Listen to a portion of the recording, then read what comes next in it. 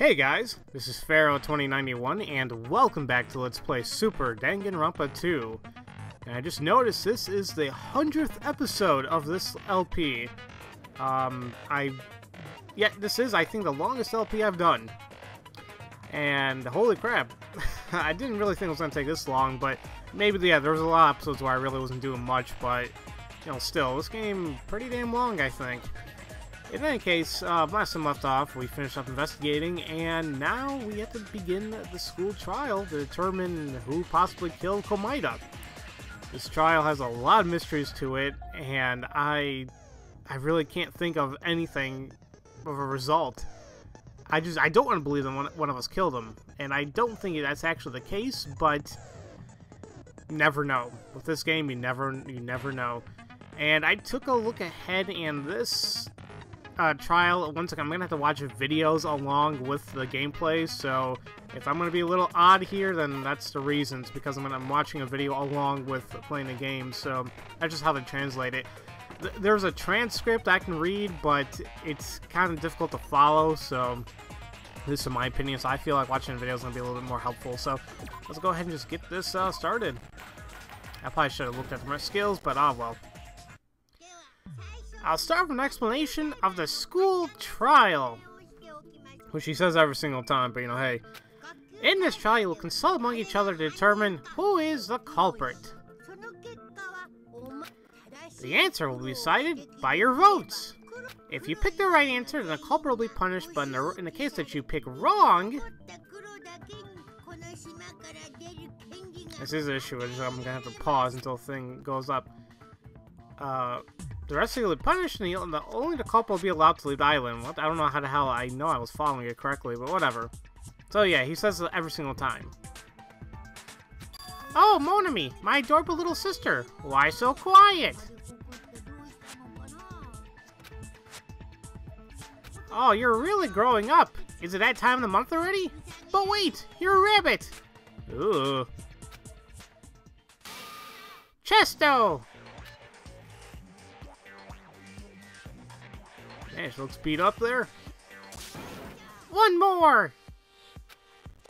Alright, how do you like that? And now the finale! She just doesn't care. Well, this is useless. Stop, please! Monomi is too pitiful right now. Well, I guess it's not time to play Monomi right, up right now. After all, the trial's already begun. Alright, the victim this time is Komaeda, who tried to reveal the traitor. Whoever could have killed him? It's very curious. If he died while trying to expose the traitor, then that must mean the traitor was a murderer. The bastard murder, murder Komaeda to keep his mouth shut. No, that's not necessarily true. What? Are you taking the traitor side or something? The fuck who ignored us when we were in danger? Wait, are you the traitor? Uh, are you joking? That's ridiculous! Oop, oop, oop. We better hurry and get on with the discussion while we have got this mood going. The traitor and the person who murdered Komaeda. They're here somewhere, right? Are they the same person?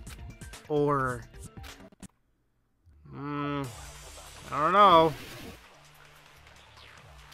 I, I just don't. I don't want to say there is a traitor. I don't. I don't know. I'll, we'll figure it out. Oh man, there's a lot. Uh. Okay. The murderer wasn't trying to silence Komaeda. They wanted to torture him. The reason that Komaeda's body was as covered in wounds was because the murderer tortured Komaeda for information.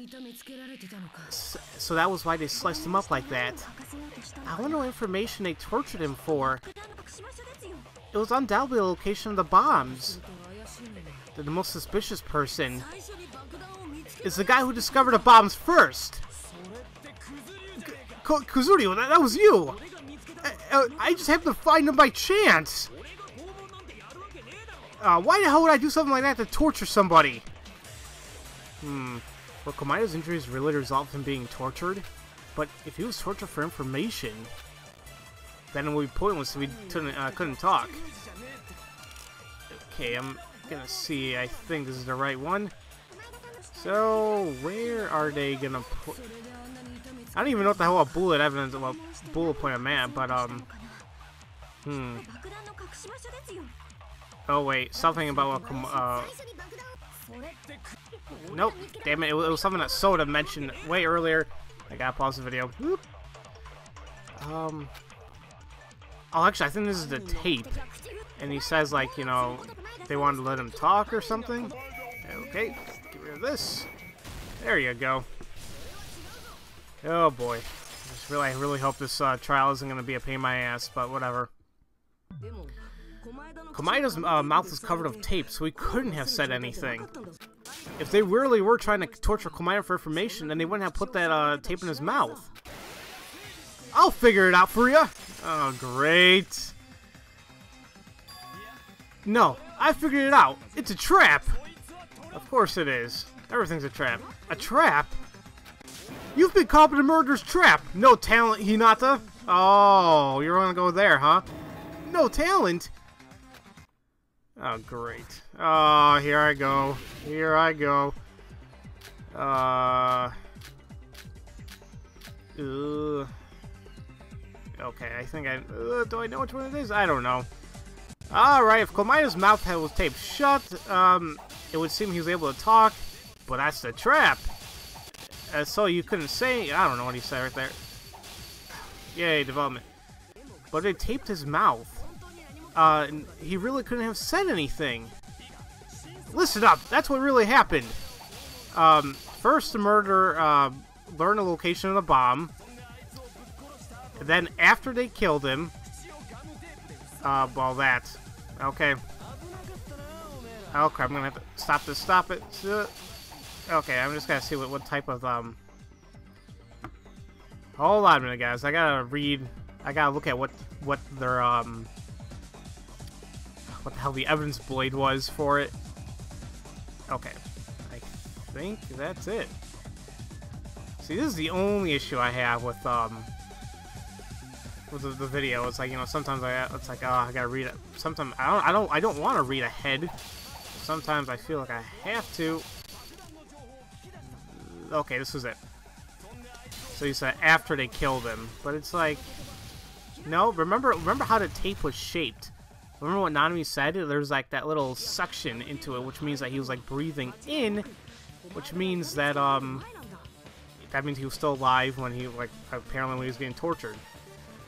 No, the tape was stuck on there uh, before Komaeda was tortured. Uh, what? Ah, stop talking about this tape thing. Or do rock, paper, scissors to decide who's right. There's no need to play rock, paper, scissors. It's true that the tape was put on before Komaeda was injured. Why are you always on Hinata's side? Do you like him or something? Well, what is this, elementary school? When I took the tape off Komaeda's mouth, you were there too, weren't you, Soda? Think about it. There wasn't any blood underneath the tape, was there? Well, there was that too. But also, I think the suction was part of it as well. The splatters of blood on his face came from the wounds on his arm. Then that tape must have been over his mouth before his arm was injured. Also, the tape was heavily creased in the middle. So that probably happened because Komaeda was moving his mouth desperately, desperately underneath. So you mean they taped his mouth shut so that he couldn't scream? Then that's what I said. What I said at the beginning was right. They weren't trying to get information off him. They were just trying to shut him up. But if their goal is to silence him, then that would there would have been no need to inflict such horrific injuries. They must have really hated the guy. Then, you're saying that they hurt him like that simply to cause him pain? Those injuries were pretty intense. Is a murderer some kind of psycho or something? They're not just crazy, they're cunning too. If not, then they would never had uh, thought to destroy all the evidence of that fire. Huh? That fire was to destroy evidence? Why? Why else? The question is who set the fire?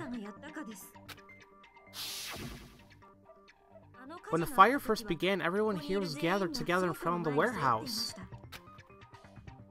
That's right. And as soon as we opened that door, everything started burning.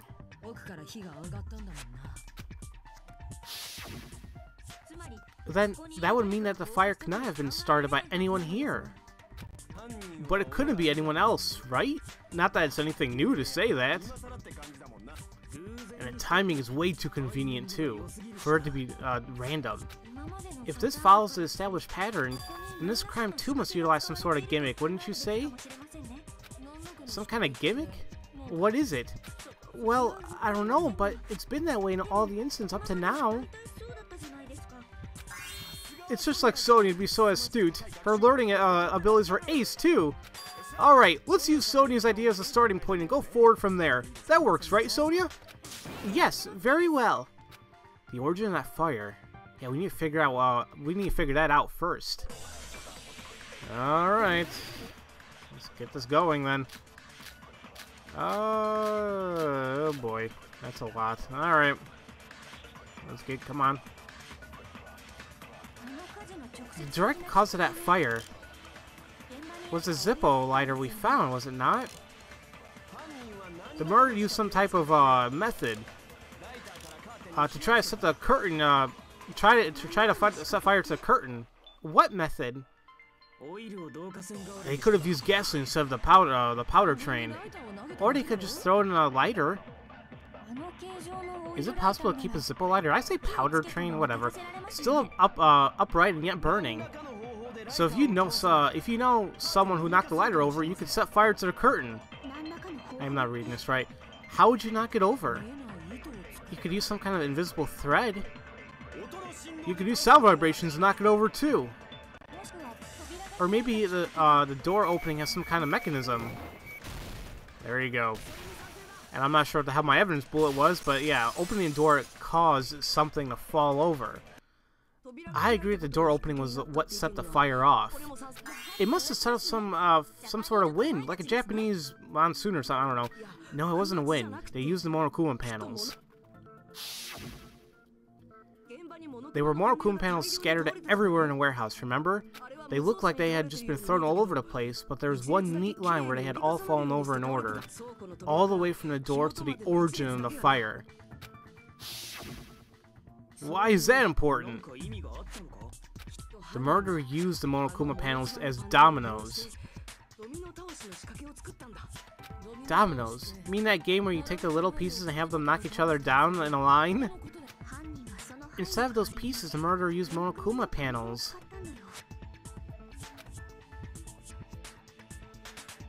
When we opened the door, the first panel right in front of it, right in front of it fell down, and the neatly lined up panels all fell down uh, like dominoes and eventually knocked down the lighter at the end of the chain, setting the cert, uh, curtain aflame, which is kind of what I figured in the first place. That was not too hard to figure out. If all those big panels fell over, wouldn't it have been really obvious? That's why they turn all turn all the lights off so that we wouldn't be able to notice it. So then, the, so the reason that the warehouse is all dark was to try and hide a domino trick from us. And the murderer used another method to try and hide it, didn't they? The other thing that they did to hide the domino trick, they might have um, they might have used this. And I'm just following along the guide. What what other thing could they have used? Besides the other Monokuma panels? I don't know. Oh, wait. that MP3 player. So what, to cover the noise or something? You mean the MP3 player, right? That music was designed to keep us from hearing the noise the panels made as they fell. Oh. Okay. Still, I would think they would have heard something. Maybe because they'd been so bright outside we couldn't see anything. And that strange music hey, can't you, oh yeah, can't you hear something? Yeah, it's a freaking annoying.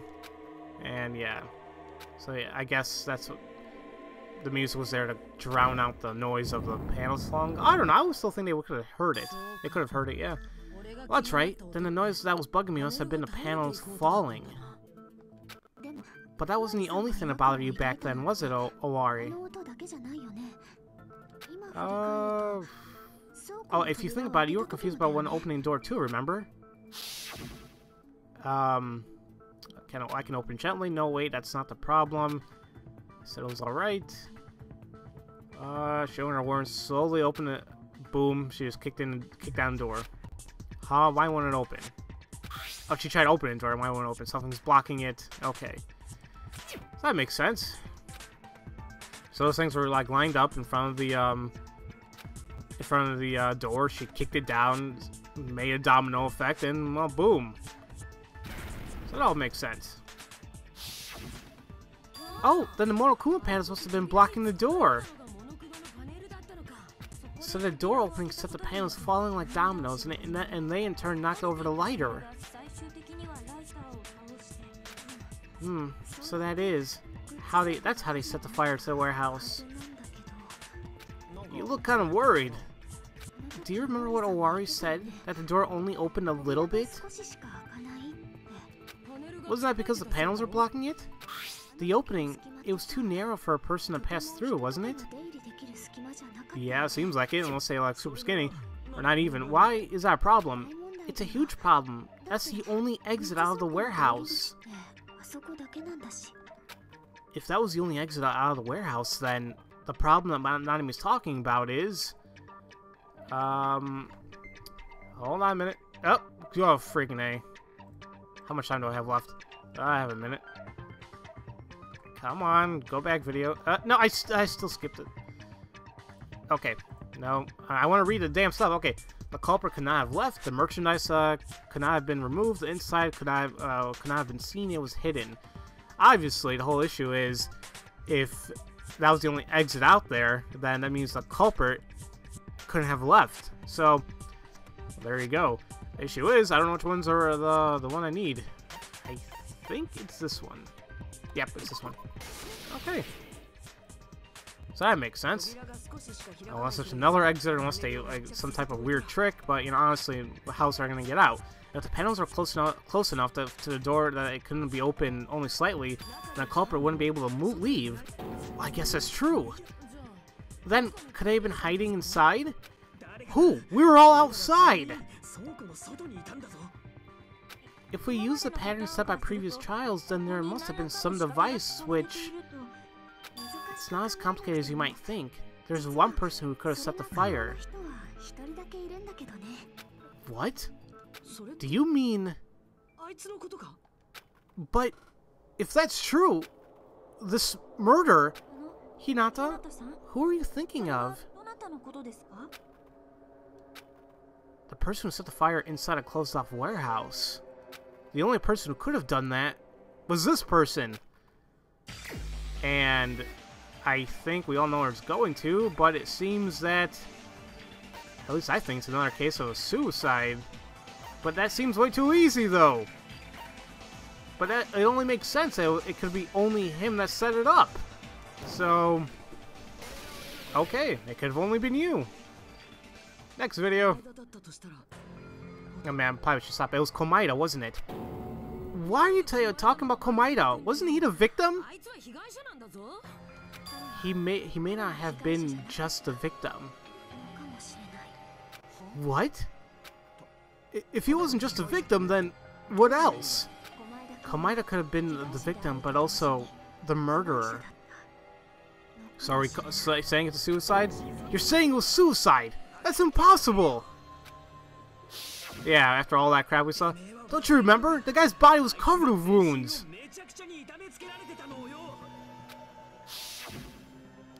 Are you saying he did all that to himself? Well, if it was Komaeda, doesn't it seem possible? That's not the problem! He was all tied up! I don't care how big a pervert he was. Why the hell would he tie up his hands and feel and feet like that? Hmm, you're right. Oh, oh, alright then, I just wanted to let you know. We need to talk about how Komaeda tied himself up. How would he, though? We need to talk about it. Why the hell does it need to be need talking about? It's obvious that he couldn't have done it. There, there, that would seem to be the case, but I feel like I've forgotten something important. And actually, I mean, actually, we'll figure out what something important was in the next episode. Because, well, yeah, I like to keep these in increments of, like, around this time. So, yeah, obviously, who else could set the fire if there's no other exit but him? But saying that it was a suicide seems way too easy.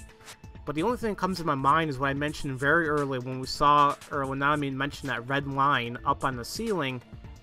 And I'm like, that is directly where the spear is. So obviously I feel like in that weight must have do something with it, where maybe he killed himself like that. And I hope that's not like a huge revelation because that's that seems very easy to figure out. But there must be a lot more mysteries I'm, I'm thinking about here. But in any case, guys, as usual, thank you all for watching, and I'll see you guys next time for Let's Play Super Danganronpa 2. I'll see you guys later.